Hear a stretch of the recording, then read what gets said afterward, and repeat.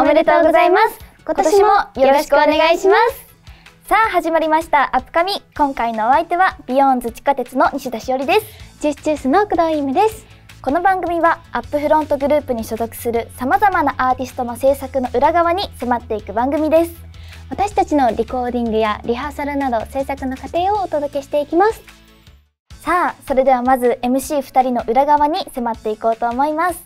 2022年のスタートということで新年の目標を発表したいと思いますがアップカミは裏側をお届けする番組ということで新年の目標の中にある裏テーマをお話ししていきたいと思います。はい私西田はですね、はい、2022年はかっこよくなりたいという思いがありまして、うん、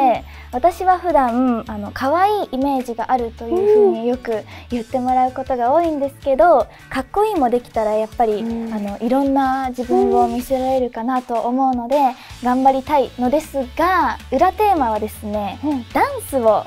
頑張りたいと思っていて、パフォーマンスでかっこよく見せられるような人になりたいなと思っています。あの西田しおりちゃんのダンスはもうすでに結構しびれるような大きく素敵なダンスを踊っているのでこれから見られるのがとっても楽しみです。ありがとうございます。あの続きまして私、工藤夢は、あの2022年は頼られる存在になりたいなと思っておりまして、やっぱ去年後輩も加入してきてくれて、こうやっぱ後輩から頼られるのはもちろんやっぱ先輩からもここってこうだったよねっていうふうにこう話しかけてもらえるようなというかこうそこでも頼ってもらえるような人になりたいなっていうのでまあ日常でもあの片付けが苦手なところがあるので、まあ、日常でも片付けを頑張りたいという裏テーマを設定して頑張っていきたいなと思います。はい、もう工藤ゆめちゃんのパフォーマンスはいつも全力でそこがすごく素敵だなと思うので これからの先輩らしい姿も楽しみにしています。ご覧のあなたの目標裏テーマもぜひコメント欄に書き込んでみてください。それでは今回のアップカミまずはこちらから高橋愛、田中玲奈、夏焼みやび、愛のどんでん返しミュージックビデオ撮影メイキング M ラインミュージックチャンネルにて公開されました高橋愛、田中玲奈、夏焼みやびの愛のどんでん返しのミュージックビデオ撮影の様子をご覧ください。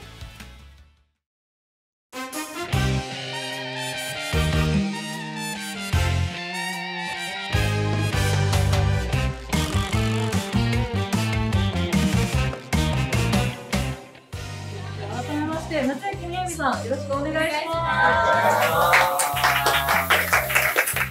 あ、そういうストーリーがあるんだ。確かに。はい、ああみたいな感じで歌いつつ、だんだんその歌詞の世界観に合わせて冒頭の方はやきもきしながら、そこはまああんまりこうやきもきというよりかは、あ、なんだかママだったんだみたいな感じの少し表情柔らかくなるっていうのを歌詞に合わせてグラデーションしていければというふうに思ってい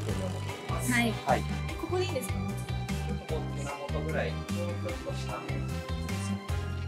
では本番いきます。はい、はい、また本番してくださいよ橋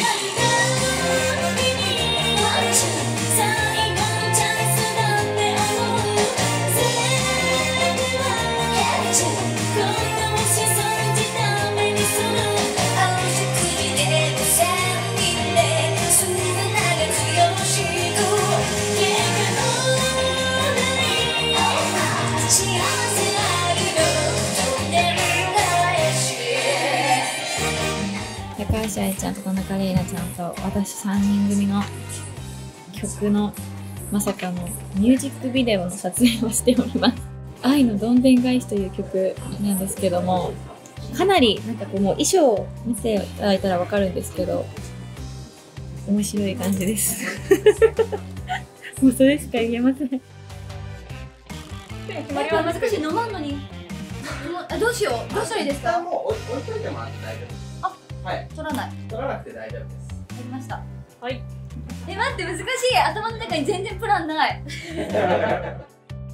ミラーをピカピカしてる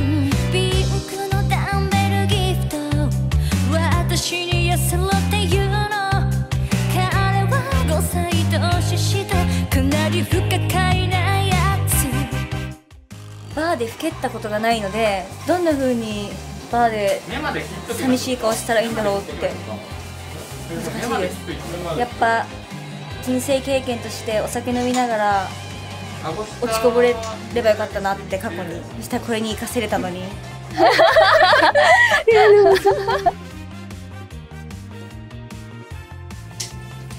はい。じゃあカメラ回してください。本番遊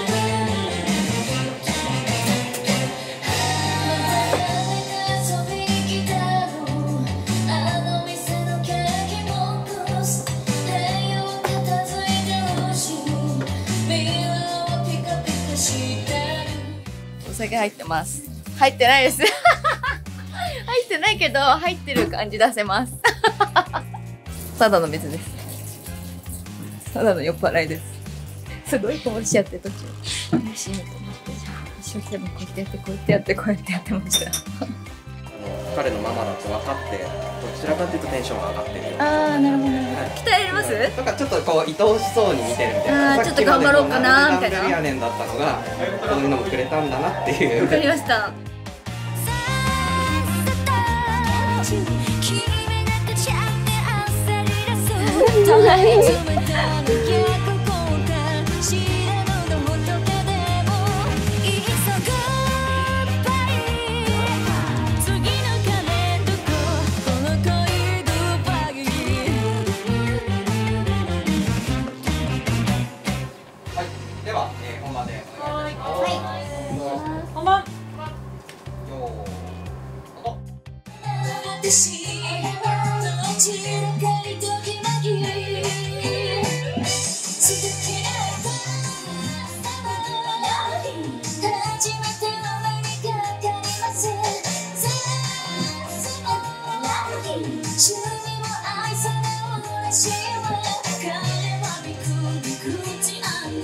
ミ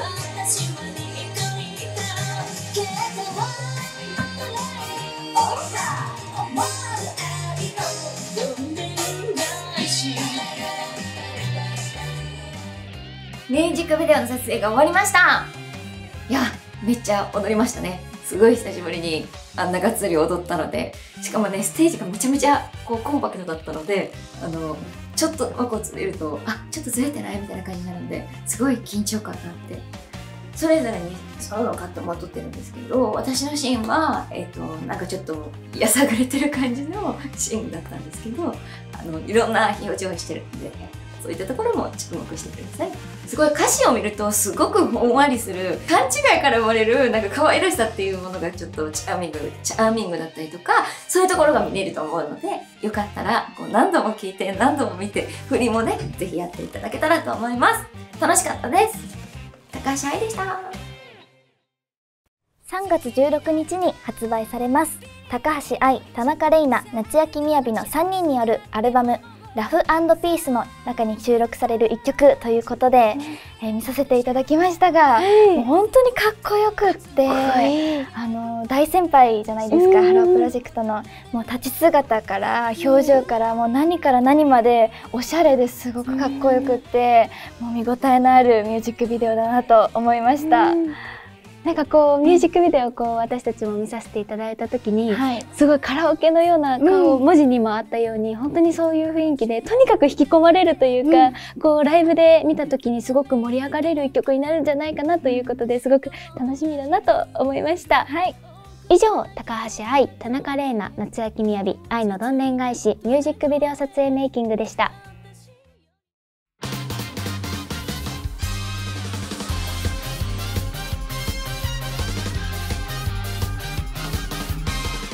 2021年一番美味しかったもの、3、2021年一番成長できたこと、4、2022年楽しみなこと、5、2022年新たに挑戦したいこと、6、2022年克服したいこと、ということでね、今からサイコロを振って、出た目のお題でトークしていきます。じゃあ今回は私がいきますね。せーの、はい。あ、3! ということで、2021年一番成長できたこと。何何？私はでも、今年1年、うん。MC をする機会が本当に多くて。あ、そうなんだ。そう、ファンクラブイベントとかでも、うんうんまあ、バースデーイベントっていうものを毎回行わせてもらってるんですけど、そのみんなの回し役として出たりとか、あとは花鳥風月のコンサートでも、秋では MC を務めさせてもらったりとか、本当になんか回す役、進行役をすることが今まではなかったんですよ、全然。そうなんだ。まあ、椿で言うと、山岸莉子ちゃんとあか、あそうだね。白とゆめのちゃんが多くやる役割だったんですけど、私今回、今年になって一気にその挑戦が回ってきて、MC 役そう、今まではさ、やっぱ自分が思ったことだけをこう話すことが多かったけど、MC をするにあたっては、やっぱみんなのことををやっぱ考えないといけないんだなっていうのは、すごくなんか感じさせられた。話すスキルが成長したってこと？そうあそれですね。いいねだからまあ私はいつもあなたの味方だよ。続いてはこちらです。ハロープロジェクト新グループ OCHA NORMA 追加メンバーオーディション映像。ハロープロジェクト新メンバーオーディション2021からの合格者、そして新グループへの追加メンバーとして加入しました。田代すみれ、筒井澪心2名のオーディションの様子をご覧ください。ハロープロジェクトの新しいグループそのグループの名前は OCHA NORMA 新グループに加入する新しいメンバーを発表したいと思います。筒井澪心佐賀県出身中学2年生14歳です。田代すみれ神奈川県出身高校1年生の16歳です。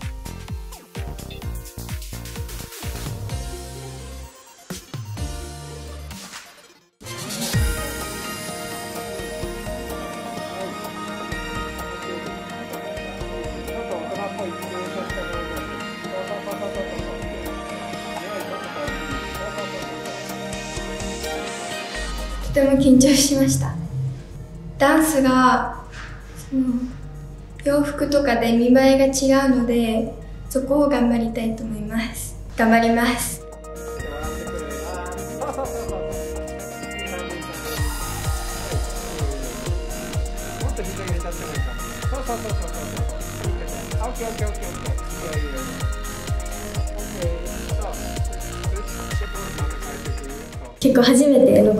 のですごく緊張してあのどうなるのかとかよくわからないんですけどでも頑張りたいです。なんかやっぱダンスとかが緊張してしまうと動きが小さく見えたりしてしまうのであのそこをあの大きく見せることができたらそれいいなと思います。中学2年生14歳の筒井ロコです。よろしくお願いします。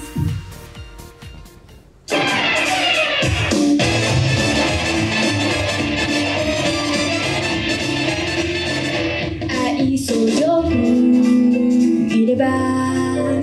褒められるはずだった。つまらないなんて。そんなセリフは想定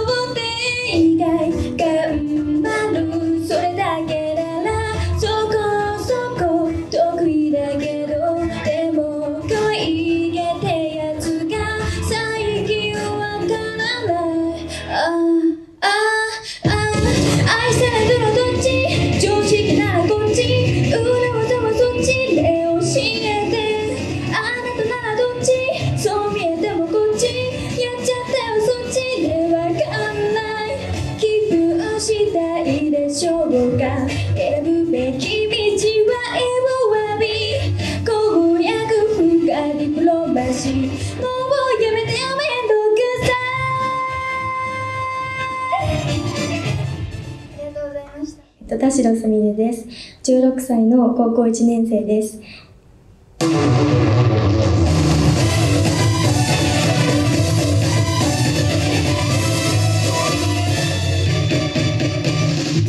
最近眠れない夢にさえ戻れないで。イライラフラフラアンバランス笑顔を忘れて。マスクの中呼吸も絶えないの毎日って。言いたいことも飲み込んでいつも青い一息。預けた雨も降ってないのに心の中で火災のげ守るものさえもわからなくて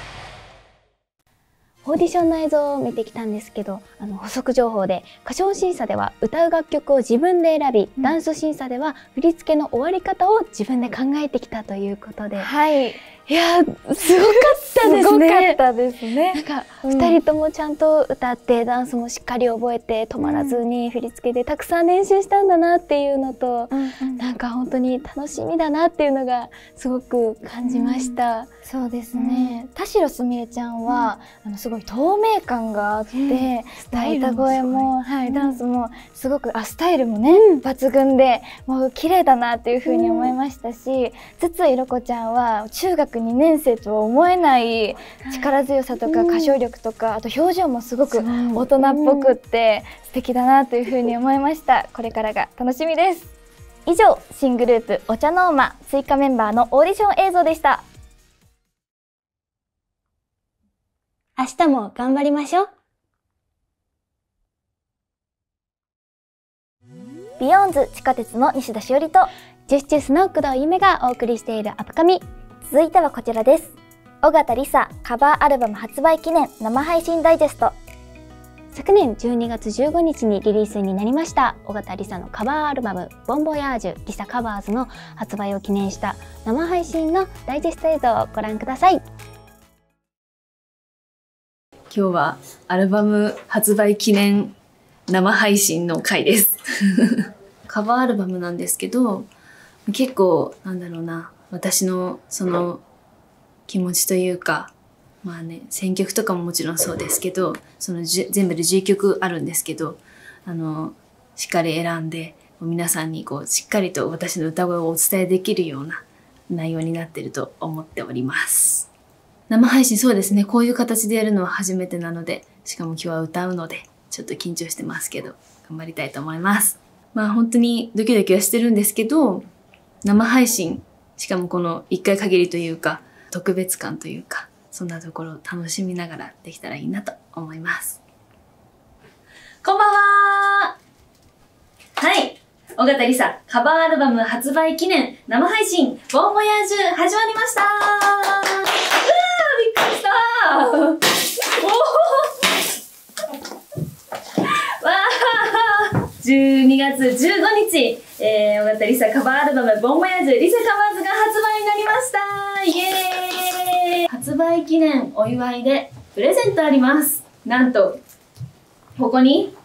かき氷が 用意されているみたいです。12月だけど、かき氷食べます。おーじゃーん。かき氷。いただきます。うん。美味しい。え？かき氷機もプレゼントしますので持って帰ってねだって。え、めっちゃ嬉しい。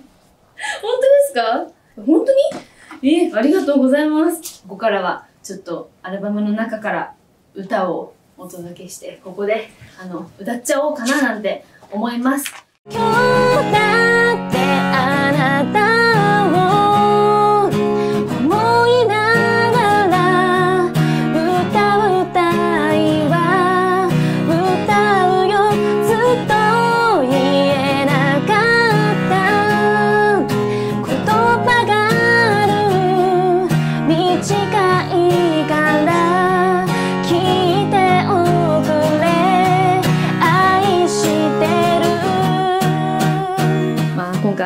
発売日当日にこうやってあの生配信でたくさんの方にあの歌を聴いていただけたっていうのはすごく嬉しかったなっていうふうに思いますし、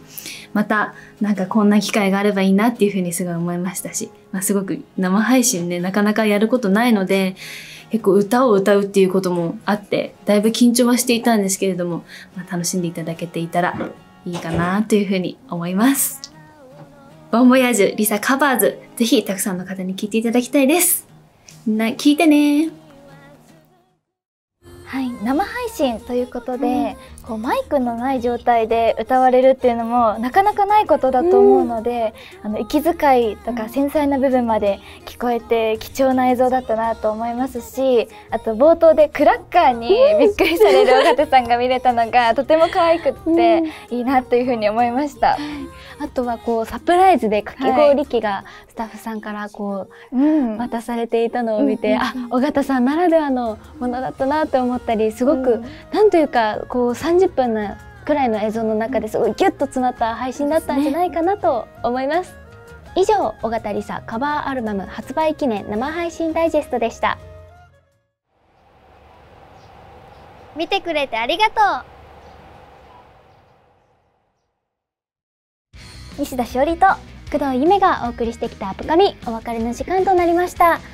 さあ今回もいろいろな映像を見てきましたが、私工藤はやっぱ1個目のこう大先輩のはい。映像をこう見ていて、なんというかその一人一人にしか出せない魅力がたくさんギュッと詰まっていてこう表現の仕方だったりだとか目線の送り方だったりそういうのをすごく見て学ぶことができたので素敵な機会だったなというふうに思います。はい。私西田はあのお茶ノーマに加入した新メンバーのオーディション映像をあの見させていただいてもうオーディションってやっぱり緊張するし、映像を見ていても緊張感が伝わってきたんですけれどもあの1個目の映像で大先輩が、あのかっこよく決めていらっしゃったように私たちも先輩らしくかっこよくできたらいいなと思いますし新メンバーの活躍も2022年とても楽しみだなというふうに思いました。